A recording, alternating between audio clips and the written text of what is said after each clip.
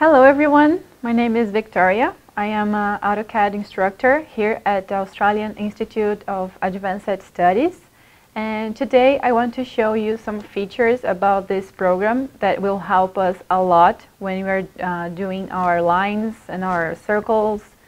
So let's begin. So here, uh, some things that I, I want to show you. Here in the bottom, this bar over here, we will use this a lot. So this snap cursor, cursor should be always on, so it must be blue here. So you see, if I click, it's off. If I click again, it's on. And I have to select which one I want to be uh, turned on, such as endpoint, midpoint, center, I use a lot intersection, perpendicular, and tangent. So I will let this uh, on and we can move on. You can change during your drawing. You can always change these uh, snaps, okay? Also, we use a lot this cursor over here and this one. So I think it's better uh, to use this one so you can draw lines on any angle. But if you want orthogonal angles, you should select this one. So you only can draw lines in vertical and horizontally. So I will keep this feature on. And let's start our first, first line here.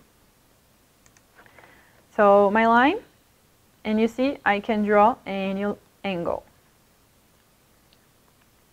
And so I will put some uh, units here. So 100, for example. And you see my line here is 100. And what I, I'm going to do, I will draw a line. But this time I will use an angle. So I will click here in the first point, and I want to draw, uh, draw a line, 100. I will press tab in my keyboard and then I can type the angle that I want. You see, now my, my distance is uh, blocked and I only can change the angle. So I uh, make a 45 degrees line. So you see, now I have a 45 degrees line. And what does the snap cursor will help us here.